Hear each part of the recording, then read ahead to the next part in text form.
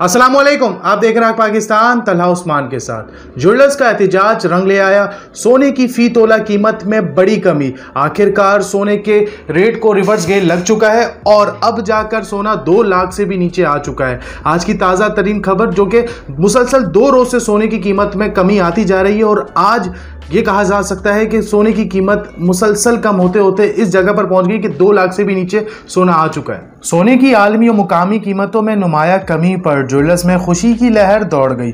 आपको मजीद तफसीत से आगाह करते चलें कि सिंध सराफा बाज़ार ज्वेलर्स एसोसिएशन के मुताबिक यकदम चार हज़ार तीन सौ रुपये कमी के बाद फ़ी तोला सोना दो लाख से कम हो गया, यानी एक लाख निन्यानवे हज़ार सात सौ पर आ गया। दस ग्राम सोने की कदर तीन हज़ार छः सौ छियासी रुपये कमी से एक लाख इकहत्तर हज़ार चार सौ अड़सठ रुपये हो गई।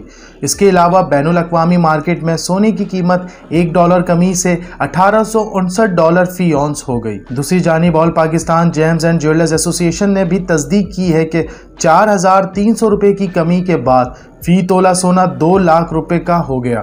इसी तरह दस ग्राम सोने का दाम तीन हज़ार छः सौ छियासी रुपये कमी के बाद एक लाख इकहत्तर हज़ार चार सौ अड़सठ रुपये है।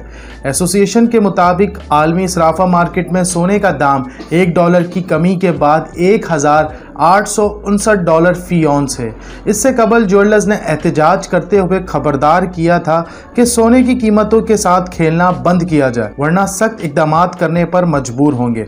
आज दूसरे रोज़ भी सोने की कीमतों में कमी पर ज्वेलर्स और ख़रीदारों ने खुशी का इजहार करते हुए उम्मीद ज़ाहिर की है कि सोने की कीमतों में मौजूदा इजाफा मसनू है। लिहाजा इससे कीमतों में मजीद कमी आनी चाहिए, ऐसी मजीद तफसीत जानने के लिए देखते रहे हक पाकिस्तान पाकिस्तान जिंदाबाद।